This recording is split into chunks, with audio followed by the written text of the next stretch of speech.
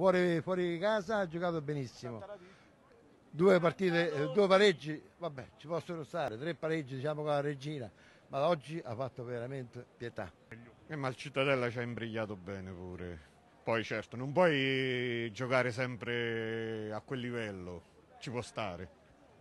Sprechi troppo. Lavori, lavori, lavori, tiri, tiri, tiri, ma alla fine cioè, non è possibile giocare in questo modo il primo tempo e il secondo tempo. Succede che oggi abbiamo proprio giocato malissimo, guarda.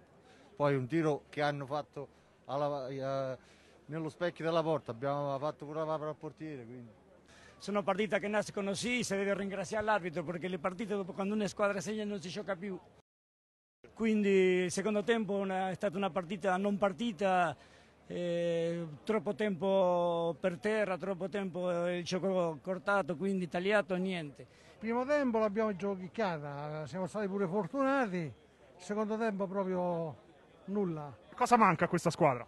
Ci manca un po' di tutto, ma Bisogna tornare al Matusa. Quindi smontiamo le tribune e le portiamo al Matusa. Smont- eh, smontiamo qua e andiamo di là. Allora Aldo siamo tanti, organizza così, organizza subito un cantiere e così andiamo. Oggi una vera delusione, Angelo, una vera delusione.